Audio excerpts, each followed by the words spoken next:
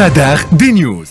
في غدار دي نيوز اليوم نختم لقائنا بالحديث عن الجرائم التي ترتكب ضد الإنسانية منذ 7 أكتوبر من قبل الكيان الصهيوني على الناس اللي كانت موجودة في غزة. الجرائم متنوعة متعددة كيف يمكن تصنيفها؟ هل يمكن القيام بتتبع إسرائيل أمام المحكمة الجنائية الدولية؟ أكثر تفاصيل معنا مباشرة من باريس المحامي الأستاذ حاتم الشلي. مرحبا بك. أهلا وسهلا.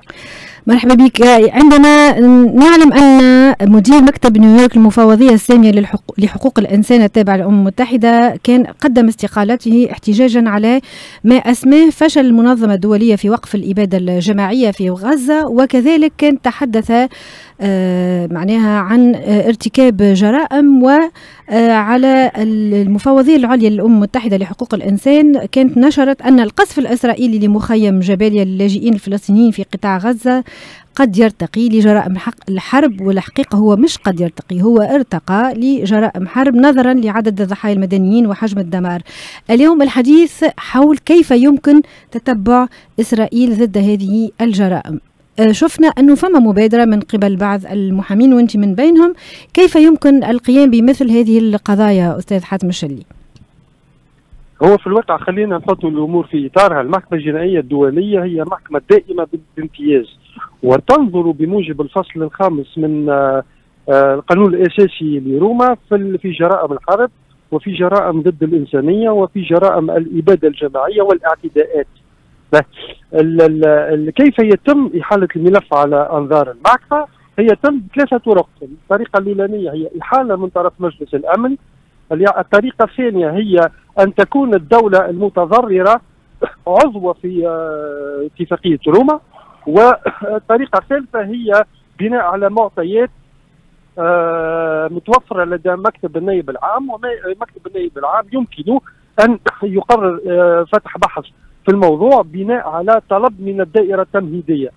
آه إحنا بالنسبة لدولة فلسطين المحتلة في نذكر الساده المستمعين وانه في 2015 تقدمت بطلب رسمي للانضمام إلى اتفاقيه روما وفي ابريل 2015 آه، آه، قامت بإيداع سك الانضمام وأصبحت دولة عضو في الاتفاقية. ثم بعد ذلك آه، أحالت الملف عندما أصبحت معناتها طرف في اتفاقية روما أحالت الملف إلى النائبة العامة للمحكمة الجنائية الدولية فتو بنسودا والتي بعدما اعتبرت أنه وقع استوفت شروط الانضمام القانونية اعتبرت وجود جرائم حرب ارتكبت سنة 2014 وبهذه المناسبة طلبت دولة فلسطين المحتلة آه، النظر في الجرائم آه، على قطاع غزة والضفة الشرقية والقطاع آه، معناتها بصفة رجعية ابتداء من 2014 آه تمت المجموعة من المحامين وبما فيهم كذلك مكتب النائب العام استشارة من الدائرة التمهيدية آه، للنظر في مدى اختصاص المحكمة اقليميا. يعني الإشكال اللي اللي مطروح اليوم حتى بالنسبة لمكتب النائب العام هو مباشرة الأبحاث فين باش تتم مباشرة الأبحاث خاصة وانه دولة إسرائيل ماهيش معترفة بال بال بال بال بال بالمحكمة الجنائية الدولية. وبالتالي فانه ليزونكيتور ما ينجموا يقوموا بالأعمال نتاعهم إلا على آه، القطاع قطاع غزة والضفة الغربية. يعني آه، في في وفي هذه النقطة كان آه، أستاذ حاتم الشلي المدعي العام للمحكمة الجنائية الدولية كريم خان كان صرح أنه آه، كان يود التنقل إلى غزة لمعاينة آه، الجرائم التي تم ارتكابها لكن غير ممكن آه، لأن إسرائيل رفضت منحه ذلك وكل العراقيل موجودة لحتى لا يوجد هناك تحقيق ميداني واستنتاج ارتكاب هذه الجرائم. إذا إذا في ظل هذا الوضع كيفاش يمكن المحكمة الجنائية الدولية اليوم تخطئ شوف هي, هي المحكمة الجنائية الدولية أعلنت معناتها آه، مكتب النائب العام أعلن بداية التحقيق منذ 2021 باش باش فيما يتعلق بحاليا بما حدث في غزة. أي فيما يتعلق بالجرائم التي ارتكبت سابقا والجرائم الحالية. لأنه الجرائم هي جرائم مستمرة. هذايا ما هذا ما ورد في قرار الدائرة التمهيدية. يعني اللي يجي تو يتكلم يقول لا رانا باش نقدموا شكاية في المحكمة. لا شكاية مفتوحة. اللي نجموا نقوموا به إحنا مجموعة إما من المحامين أو من الحقوقيين أو بعض المنظمات هو آه، مساندة مكتب النائب العام في وسائل الإثبات وخاصة في القائمة معناتها الناس اللي هم المتضررين. فهمتني؟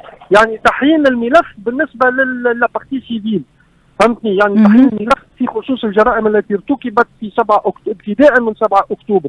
ولكن القضية مفتوحة والشكايه مفتوحة ومكتب النائب العام هو بصدد البحث في الموضوع. هذا اللي موجود توا حاليا على وجه الواقع في المحكمة.